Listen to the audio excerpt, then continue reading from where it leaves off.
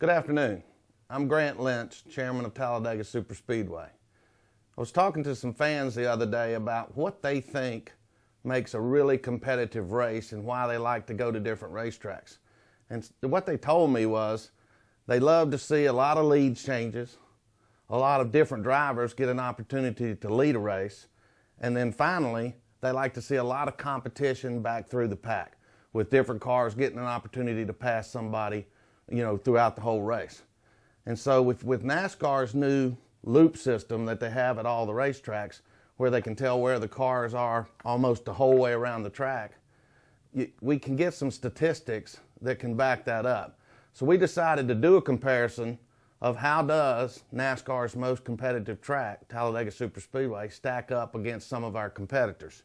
So we chose Atlanta Motor Speedway, Bristol Motor Speedway, and Charlotte Motor Speedway to do a little comparison.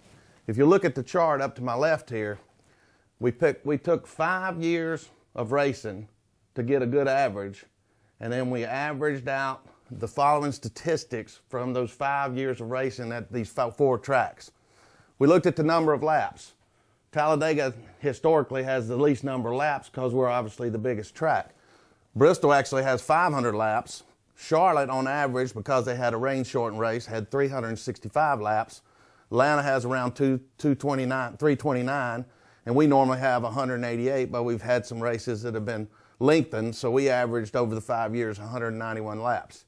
And this is where it really gets important to look at the difference of the competitive nature of Talladega Superspeedway when we compare it to our peer group.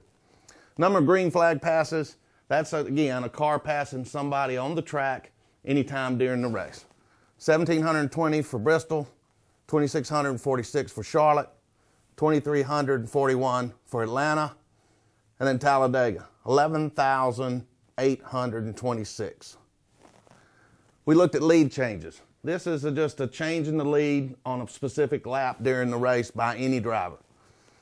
Lead changes for Bristol, average of 12 lead changes at Bristol, an average of 30 lead changes at Charlotte, 26 lead changes at Atlanta, 59 lead changes at Talladega. And finally, this is, a, this is different drivers that actually lead a lap.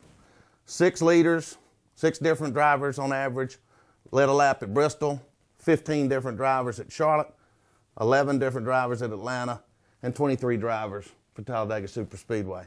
So basically what you're seeing in almost all these categories not only do we beat them individually on a race by race basis of being a much more competitive racetrack, but a lot of times we beat two of the three and almost beat them two of the three on almost all of the all of the criteria that we're looking at. So when you talk about good competitive racing with lap after lap of potential lead changes, lap after lap of cars being passed constantly on the racetrack, there are no other racetracks that can stand up to Talladega. And that's why we say this is more than a race. This is Talladega.